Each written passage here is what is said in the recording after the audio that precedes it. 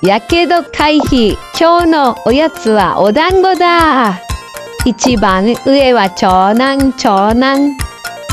よし、食べ終わったぞ。最後にお茶を飲みます。よし、ごくごく。あちー熱くて逃げ渋いですね、回復は。お茶を飲むなって。冷凍庫の中から氷を入れてお茶を冷ましましょう。一番下は三男、三男。あ、美味しかった。よし、締めはお茶。グビグビ。はあ、美味しかった。